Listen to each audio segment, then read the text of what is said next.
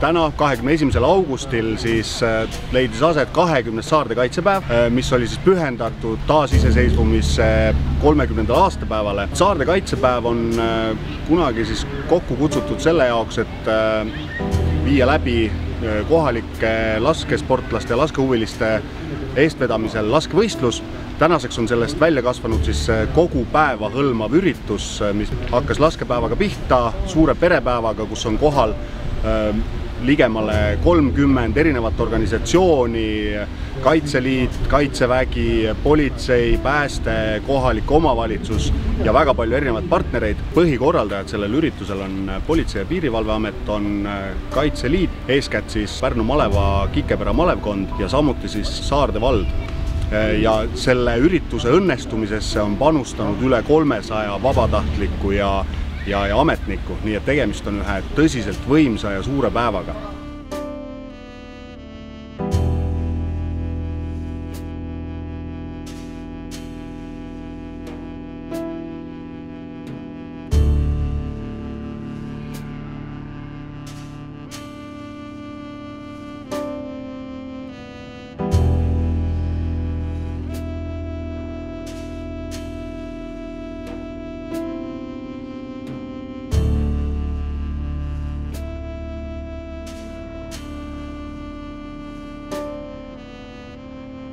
Saarde kaitsepäev on siis äh, ellu kutsutud äh, selle jaoks, et äh,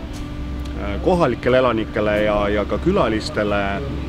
tuua lähemale turvalisuse mõistet, tutvustada erinevaid organisatsioone, kes siis turvalisusega tegelevad nii vabatahtlikult kui professionaalselt, et lihtsalt muuta meie ümber olevat maailma turvalisemaks. kaitseliit üritusel siis tutvustas oma tegevust näitas oma varustust, äh, tutvustas organisatsiooni, äh, olid ka väljas erinevad relvasüsteemid, mida siis huvilistel oli võimalik katsuda ja oma käsi külge panna, et vaadata, millega siis kaitseliitlased tegelevad ja millega nad õppustel käivad.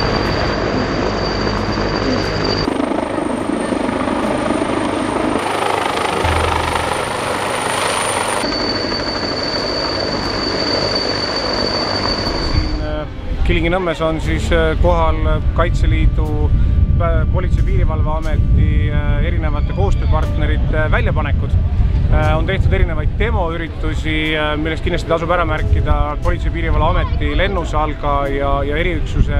demo esinemine, vabatahtlike merepäästjate demo esinemine. eriti mind köidavad need väljapanekud, kuhu on kaasatud vabatahtlikud, vabatahtlikud päästjad, vabatahtlikud otsijad, vetelpääste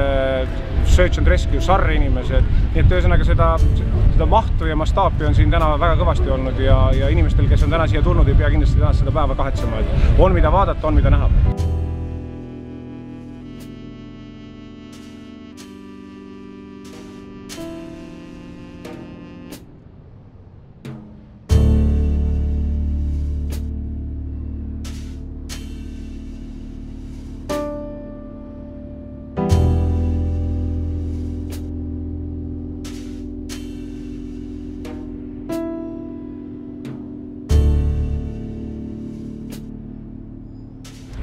Jaa, päeva viimane demo oli politsei demo, kus, äh, kus me korra lihtsalt äh, näitasime seda, kuidas Eesti politsei siis reageerib sellistes olukordades, kui, kui sõiduk ei peatu vabatahtlikult ja on vaja rakendada sundi selleks, et sõidukit peatama, peatuma saada ja seda ohtu kõrvaldada. kasutati siili näitlikustatult, sõiduk peatus ja peale seda siis juba meie abipolitseinikud väga oskuslikult võtsid selle inimese enda kontrolli alla, võtsid autost välja ja lahendasid olukorra päev on kindlasti korda läinud, kartsime ju loomulikult seda eh, pandeemiast tulenevat olukorda ja viiruse levikut ja kas inimesed eh, julgevad kohale tulla, aga kuna see päev on väga suurel alal, siis inimestel oli võimalik siin väga hajutatult ringi käia ja, ja, ja kõikidest asjadest osa saada. nii et kindlasti on päev korda läinud ja olen näinud siin väga palju rõõmsaid inimesi ja uudishimulikke inimesi, kes on küsinud väga palju huvitavaid küsimusi.